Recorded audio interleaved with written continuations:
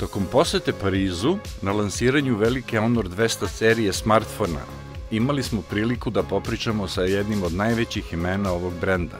Tony Ran, predsednik Honora za Evropu, nam je obrazložio saradnju kompanije sa francuskim studijom Hardcore.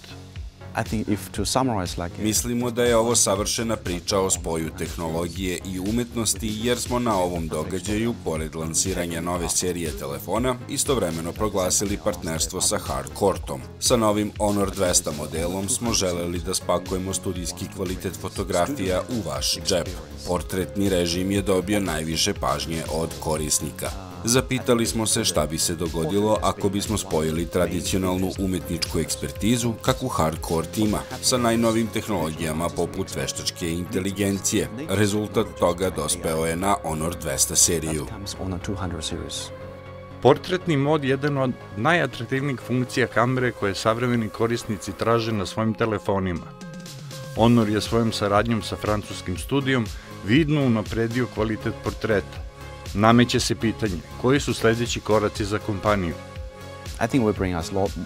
Mislim da ćemo uvesti još mnogo zanimljivih funkcija. Honor 200 ne obeležava samo novi način za procesuiranje slika pomoću veštačke inteligencije. To je magični portal za nova iskustva. Istovremeno, korak po korak, želimo da uvedemo još novih funkcija koje će vas bolje služiti i bolje poznavati. Uređaj bi mogao biti jako inteligentan, a mogao bi postati i vaš najbolji saputnik. Međutim, ovo izaziva mnogo brige oko privatnosti i bezbednosti, tako da mislim da još uvek imamo mnogo posla pred sobom. Svakako, AI je jedna od glavnih stvari koje želimo dalje razviti. Honor s razlogom ostaje među vodećim brendovima na svetskom tržištu.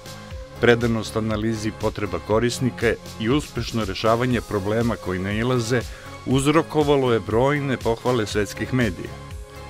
Tony Ran je također nagovestio kako će telefoni izgledati u budućnosti, ali to je priča za neku drugu priliku.